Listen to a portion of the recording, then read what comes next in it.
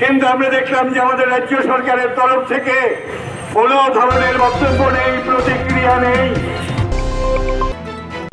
This is AGT Live 24 into 7. You are watching AGT Live 24 into 7.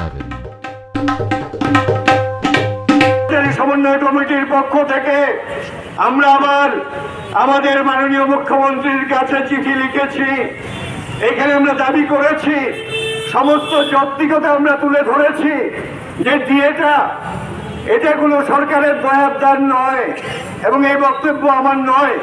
এই বক্তব্য হচ্ছে কলকাতা হাইকোর্টের কারণ কলকাতা হাইকোর্টে ডিএ সংক্রান্ত মামলায় হাইকোর্ট বলছে যে ডিএ, এটা সরকারের কোনো দয়াবদার নয়। এটা হলো শিক্ষক কর্মচারীদের আইনগত অধিকার, এটা মৌলিক অধিকার। ফলে সরকারের পক্ষে সেই দিয়ে মিটিয়ে দেওয়া বাধ্যতামূলক এই কথাগুলিও আমরা আমাদের রাজ্যের মাননীয় মুখ্যমন্ত্রীকে জানিয়েছি চিঠির মাধ্যমে।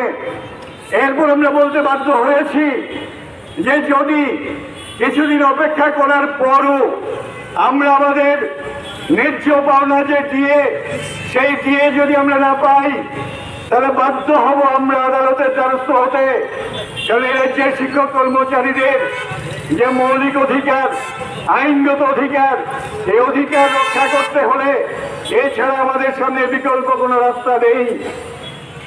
বন্ধুরা, আমরা বিয়ের দাবি কেন করছি? এটা সরকারের ব্যর্থতা। যে নিত্য প্রয়োজনীয় জিনিসের মূল্য নিয়ন্ত্রণ করতে পারছে না, প্রতিদিন একদিকে কেন্দ্রীয় সরকার, আরেকদিকে রাজ্য সরকার জিএসটি চাপিয়ে দিচ্ছে। আমাদের দেশের সাধারণ মানুষ সবাই বুঝতে পারে না যে সরকার কীভাবে আমাদের পকেট কেটে বড় লোকদের যে মুনাফার পাহাড় এটাকে স্ফীত করছে। আমরা দেখছি যে আমাদেরকে ছাড় দেওয়া হচ্ছে না। আমাদের পকেট থেকে কোনায় গন্যা হিসাব করে নতুন নতুন জায়গাতে জিএসটি বসিয়ে আমাদের কাছ থেকে সব শোষণ করে নেওয়া হচ্ছে। কিন্তু ছাড় দেওয়া হচ্ছে।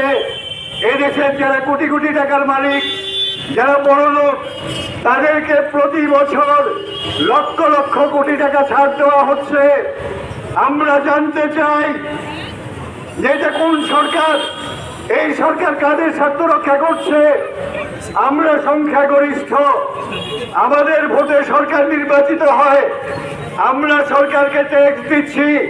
সেই ট্যাক্সের পয়সায় সরকার পরিচালিত হয়। ওনারা বিদেশ ভ্রমণ করেন, বিলাসবহুল জীবনযাপন করেন।